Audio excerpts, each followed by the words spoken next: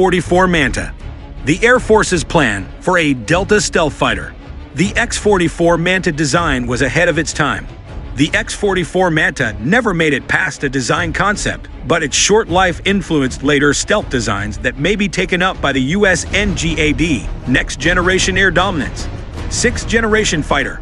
The Manta, an acronym for Multi-Axis No-Tail Aircraft, was a delta-shaped stealth fighter that had no recognizable tail section. This design specialized in low observability flight, perhaps even more stealthy than the fighter that emerged from this process, the F-22.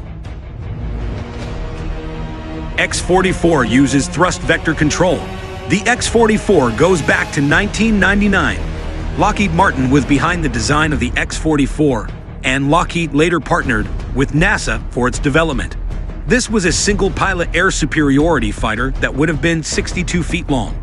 One of the main ideas behind the X-44 was thrust vector control, which would grant it the kind of maneuverability that would overwhelm enemy fighter planes. Thrust vectoring means an airplane can change the angle of thrust to control altitude in an advantageous manner. This allows the airplane to change directions in a more aggressive manner. The X-44 was considered a test bed to see how an airplane without tailplanes would perform. This meant the airplane had what Military Factory described as a stretched delta wing mainplane with side-by-side turbofan engines, namely Pratt and Whitney's with 35,000 pounds of thrust. It was estimated that the airplane could achieve speeds of up to 1,500 miles per hour with a 49,000-foot ceiling.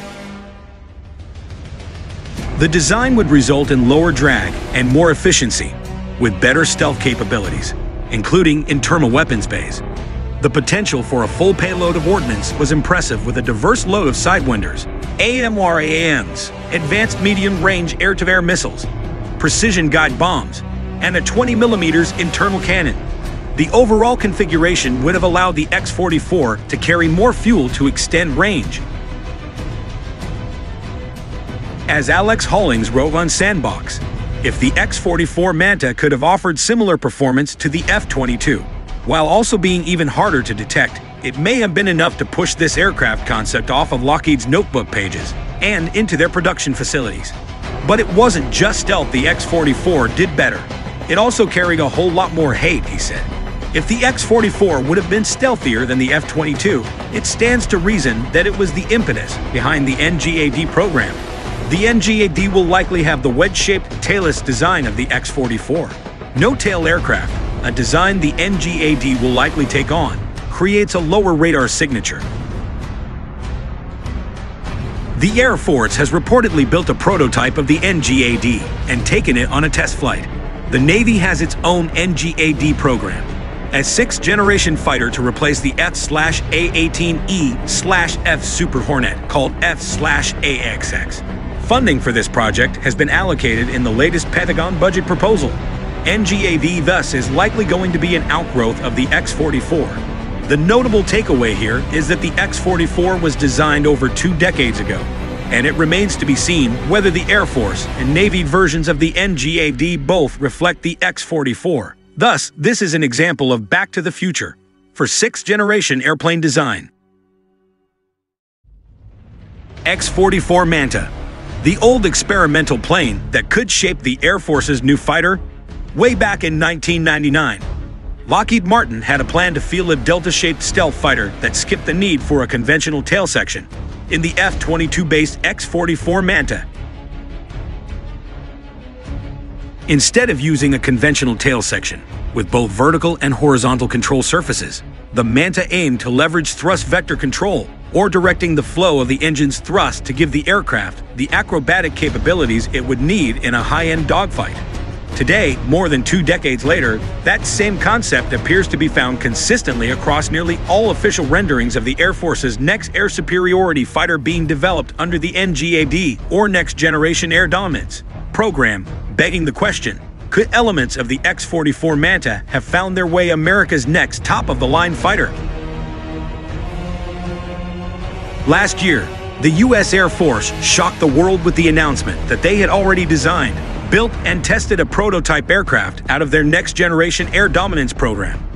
This new jet promises to be more advanced than any fighter to ever come before it, designed to not only do battle with the advanced fifth-generation fighters being churned out by America's opponents in Russia and China, but to dominate them for decades to come.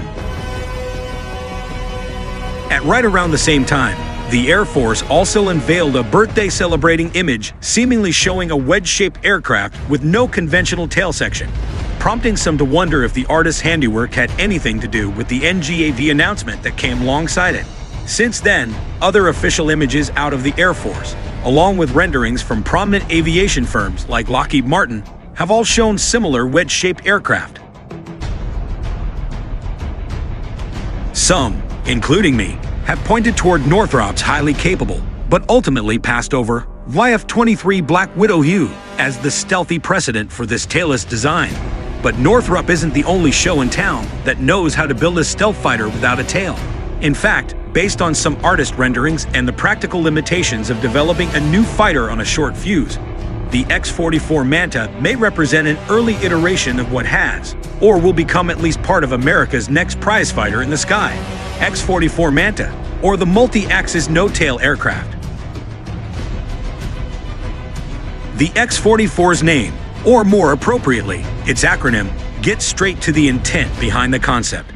After decades of rapid fighter development, some things had simply come to be considered standard fare for a capable tactical aircraft.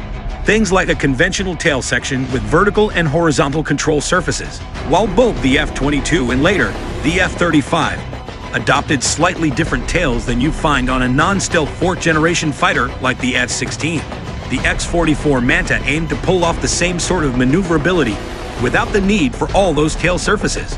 With no tail section, the aircraft's radar return would be dramatically reduced, creating an even stealthier fighter than America's highly capable F-22.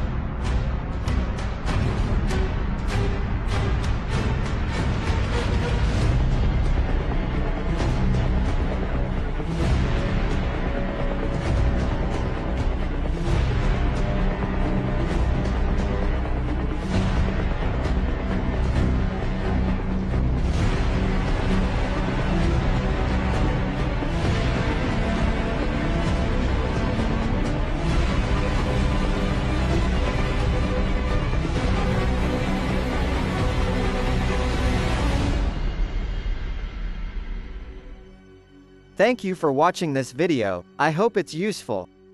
Have a nice day.